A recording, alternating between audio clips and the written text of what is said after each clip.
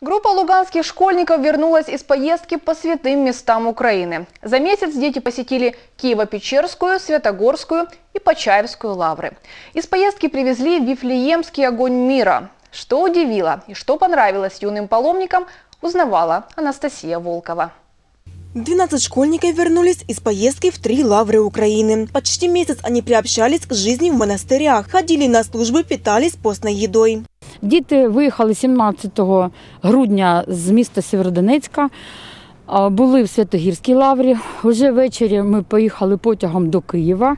18 грудня були в Києві. Мали е, змогу ознайомитись з е, Києво-Печерською лаврою. Були також на відкритті ялинки на Софіївському, на Софіївській площі.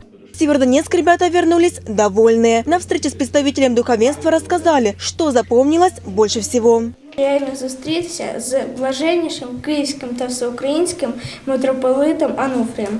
Він прийняв нас добре, він подарував нам подарунки та благословив.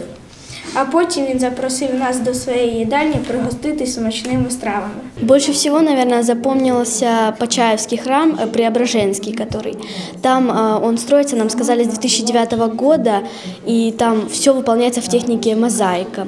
Очень красиво, все так э, очень атмосферно.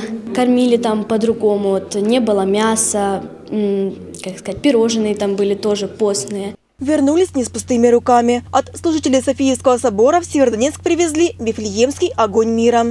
Ми, як ми тільки от з літака привезли такий от вагон з Віфлеємської землі. Тому попросили, що група дітей з Луганщини, щоб роздати всім діткам.